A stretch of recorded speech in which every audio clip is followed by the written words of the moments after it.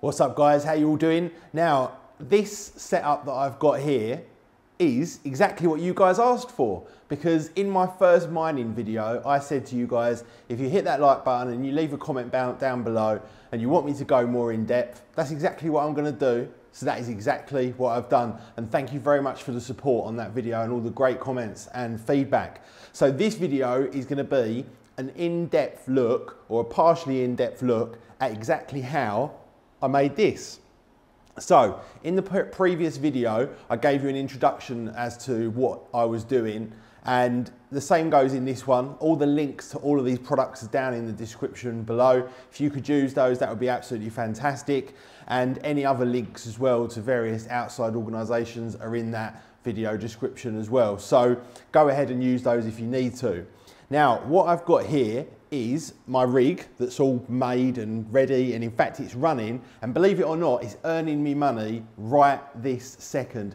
Every second that passes it's generating cryptocurrency and putting it into my wallet and making me money which is fantastic.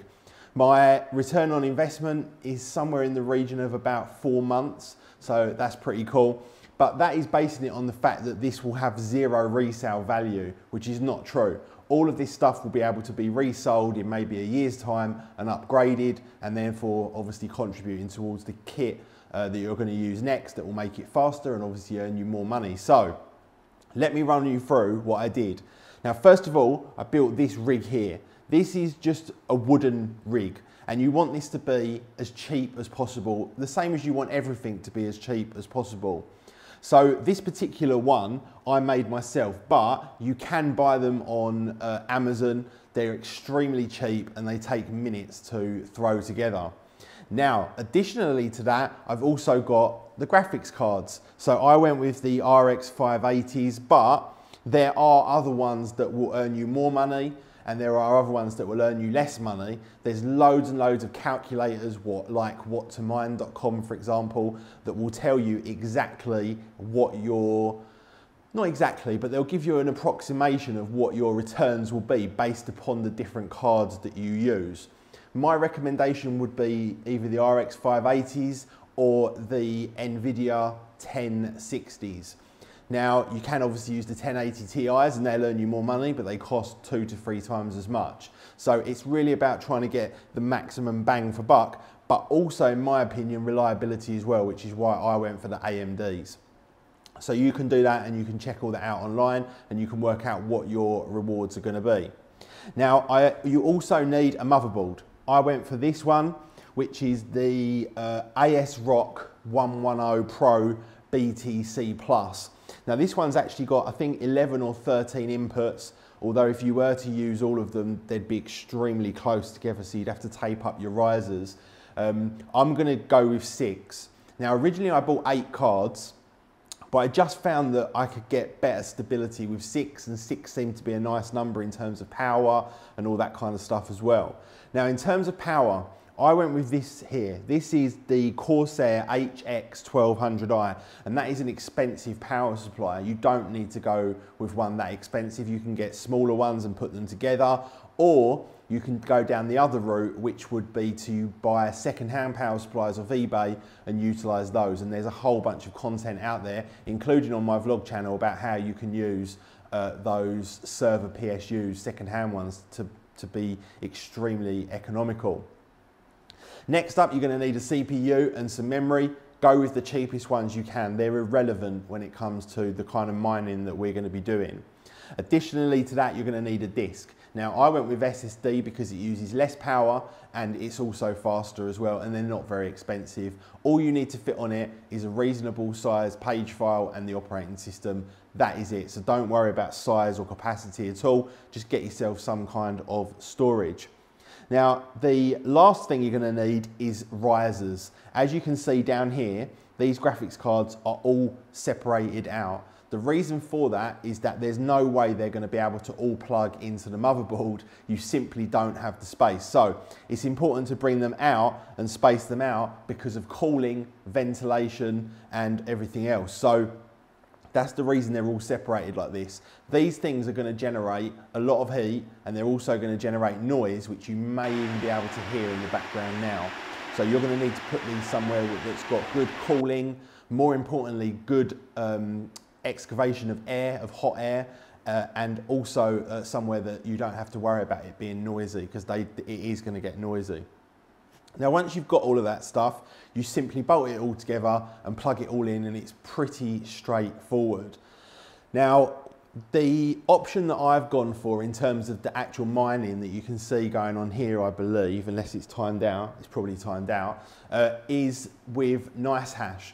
Now, yes, they did get hacked recently, but that's probably going to mean they're going to be pretty much invincible moving forward. So I've opted to go with that, and it's extremely simple. You install Windows, you install the drivers for your cards, make sure you use the right ones, that is the, the key to everything.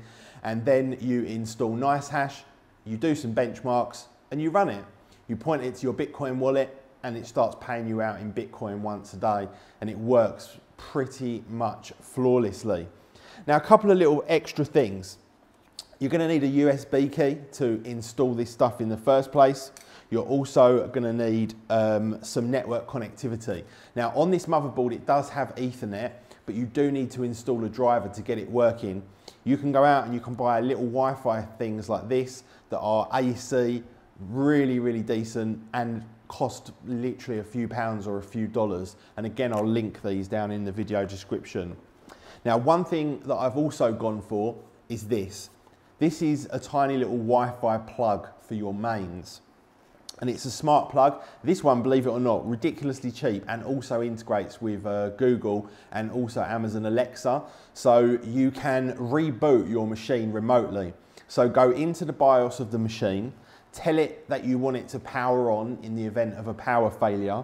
And if you have any problems whatsoever when you're out and about, you get notified by a NiceHash or something else that it's gone down and you simply connect up over the internet and reboot it remotely and it's going to go straight in, log in and start mining straight away. Now obviously downtime costs you so you don't want any downtime. So these like little extra bits just go towards contributing to make sure you don't get that downtime and you can connect up remotely.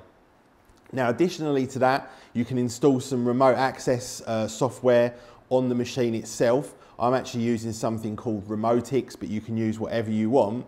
And once you've done that, you can simply grab your phone and you can connect up remotely. So what you probably should see now, because I'm connecting in, is hopefully the screen come back on. And in fact, you can see that all now.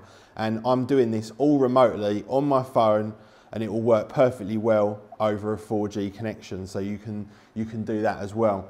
Currently at the moment, I am mining at about $30 per day. So when you take away sort of about 15% electricity costs, you're still earning a decent amount of money and still getting a pretty fast return on your investment. So that is everything that I've got set up at the moment. Uh, if you guys want to know any more information other than this, let me know in the video comments. Please do go ahead, hit that like button for me. I really do appreciate it. And yeah, hope that was useful. I will see you guys in the next video, hopefully, where you've all had a go and tried making money yourself. And in fact, one last thing. If you've got a PC at the moment that's got a half decent graphics card in it, go ahead, install NiceHash on it, and you can actually start mining straight away and earning money from the PC that you've already got. Anyway guys, that's it from me. Thank you very much for watching. I will see you all in the next video. Peace.